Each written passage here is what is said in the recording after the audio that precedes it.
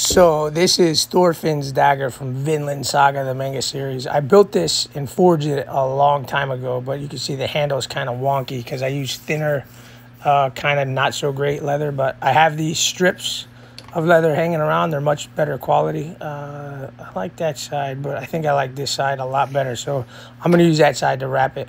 Uh, what you want to do is you want to cut the end you start on on an angle so that when you do wrap it, it doesn't have any overlap. If you're overlapping your wrap, then it really doesn't matter, but this gives it a better finished look on it. You can see that it's kind of gray when you cut it, so I used a brown Sharpie to just go over that end and give it a more finished look, and it doesn't look so weird with that gray on there, so uh, that's a lot better.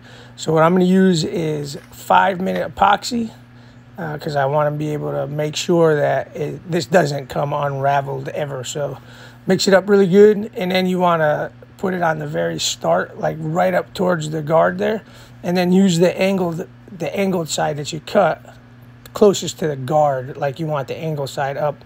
And then I'm just gonna wrap it, and then I'm gonna take the five minute epoxy and I'm gonna epoxy it down the length of the handle as well because you don't want it coming undone. I put a lot of epoxy on the end and then clamped it down because if it's gonna come unraveled, I mean that's where it's gonna come unraveled from. So we want to make sure that that's good.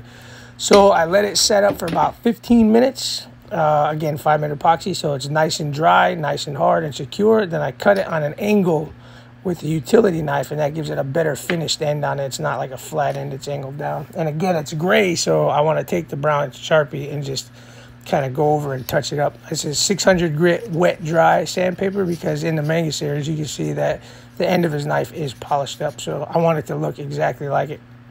Uh, and there you have it. Way better looking. It looks way more like the one in the series. Uh, it's way more comfortable. It's a softer grip, so it's better to hold on to and better to wield. So thanks for watching. And if you want to watch me build it and forge it, check it out in an earlier video. Thanks.